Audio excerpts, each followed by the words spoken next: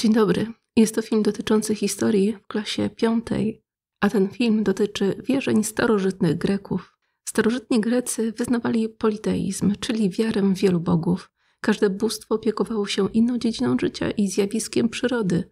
Grecy wyobrażali sobie bogów jako istoty o ludzkim wyglądzie, z wadami i zaletami zwykłych ludzi, lecz nieśmiertelne. Poszczególni bogowie byli opiekunami miast, ich patronami. Na przykład Atena opiekowała się Atenami. Helenowie wierzyli, że bogowie wpływają na ich życie, zapewniają pomyślność i opiekę. A jacy to byli bogowie? Najważniejsi bogowie mieli zamieszkiwać pałac na szczycie góry Olimp.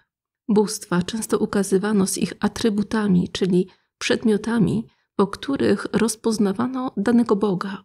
Najważniejszym bogiem Greków był gromowładny Zeus, władca bogów i ludzi.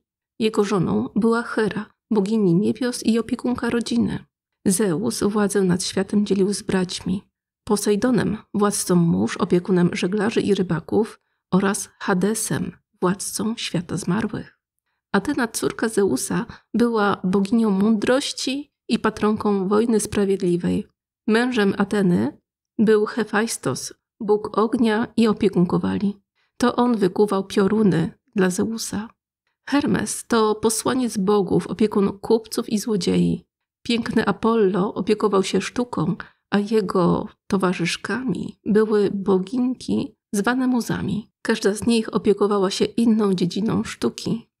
Afrodyta była boginią miłości i piękności, opiekowała się zakochanymi. Z kolei Ares był bogiem wojny i żołnierskiego męstwa. A teraz przejdziemy do mitów greckich, bowiem Grecy o życiu bogów i ich czynach dowiadywali się właśnie z mitów. Były to opowieści o powstaniu świata i człowieka, wyjaśniające zjawiska przyrodnicze, zachodzące w świecie otaczającym ludzi. Grecy czcili też herosów, czyli półbogów, których jedno z rodziców było Bogiem, a drugie człowiekiem. Charakteryzowali się oni niezwykłą siłą i urodą, lecz byli śmiertelni w przeciwieństwie do bogów. Bohaterskie czyny herosów również były przekazywane w mitach greckich.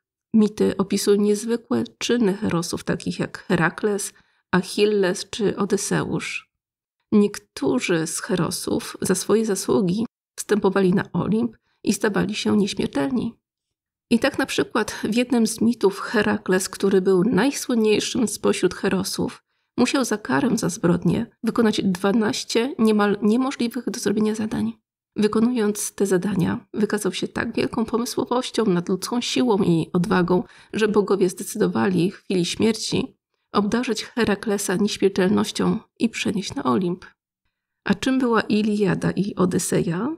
Otóż część mitu została spisana w długich, wierszowanych utworach zwanych Iliadą i Odyseją.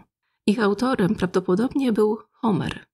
Iliada jest opowieścią o ostatnim roku trwającej 10 lat wojny trojańskiej. Przyczyną tej wojny było porwanie najpiękniejszej z kobiet, Heleny, żony króla Lacedemonii, Menelaosa, przez królewicza trojańskiego Parysa. Epos mówi o niezwykle zaciekłych walkach, w których szczególnie odznaczył się jeden z herosów, Achilles.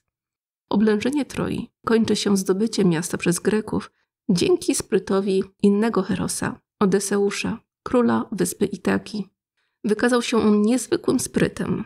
Kazał bowiem zbudować wielkiego drewnianego konia, w którym ukryli się greccy wojownicy.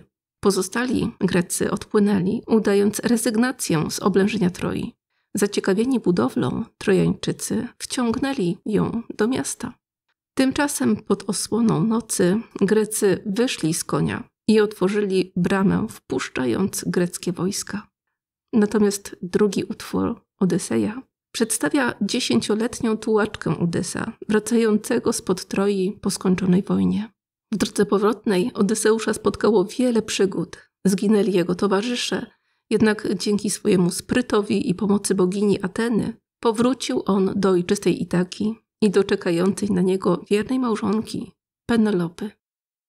Dziękuję za uwagę. Zapraszam do innych naszych filmów oraz do subskrybowania naszego kanału. Do usłyszenia.